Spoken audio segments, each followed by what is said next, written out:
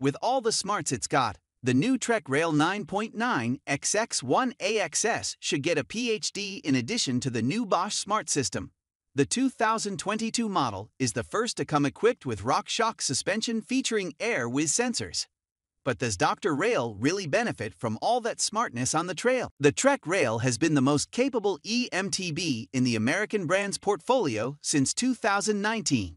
It promises to excel even on the most demanding descents, and recently it convinced us of that in our big 2021 eMTB group test.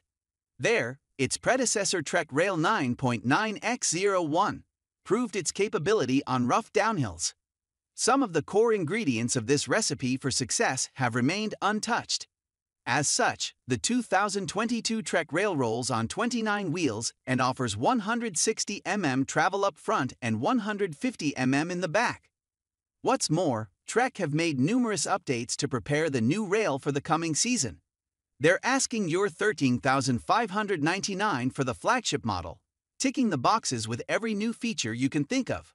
Fully equipped our size L test bike weighs 23.52 kg. The new Trek Rail 9.9 XX1 AXS in detail. For the new Rail Trek are relying on the Bosch Performance Line CX Smart System. Though the motor itself remains largely unaffected by the update, it's neatly integrated into the carbon frame and the skid plate allows it to blend seamlessly with the rail's silhouette. A new addition to Bosch's smart system is the bigger 750 WH battery. As usual with Trek, the battery can be removed from the side of the down tube and comes with a convenient carrying handle. The down tube and the battery opening in the frame had to be adapted to accommodate a larger battery. Along with the new battery, the display and remote are spanking new too. The Kiox 300 display sits well protected on the top too, but this makes it a little harder to read while riding. The cables connecting the display are all hidden inside the frame. The new Bosch LED remote is where the action happens. It controls all eMTB specific functions on the rail and can display the battery level and support mode via its integrated LED. There's a catch, though, operating the many small buttons on the remote takes some getting used to. All the cables running from the cockpit are routed into the frame via ports just behind the head tube. Speaking of which, the head tube on the Trek rail is quite burly though it blends in nicely with the bike's silhouette thanks to the 1.8 steerer tube and the oversized crown of the RockShox ZEB fork, making it sit flush with, with the head tube. Trek have fitted their Knockblock 2.0 in the headset so that neither the display nor the frame gets damaged by the handlebar or fork crown in the event of a crash, allowing you to turn the handlebar by a maximum of 72 dead in each direction.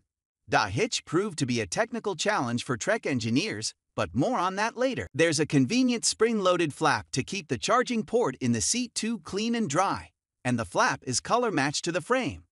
While we're on the topic, we could spend hours admiring the deep red color scheme, which Trek call Carbon Red Smoke slash Viper Red.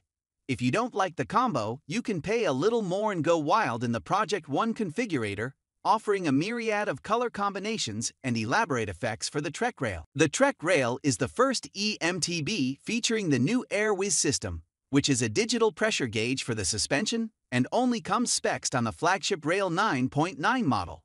It monitors the fork and shock performance, displaying the exact air pressure on your smartphone via a Bluetooth connection. The two little helpers are listed as new sensors in the SRAM AXS app. To make the suspension setup as simple as possible for newbies, you can enter your weight in the app and it will give you a target pressure for each component. If the current pressure is outside the target range, plus slash 2 psi in the fork and plus slash 5 psi in the shock, you'll see a red light flashing on the affected component to let you know if the recommended air pressure seems too low or too high. The app also allows you to set the target range manually, which we had to do regularly. Thank you.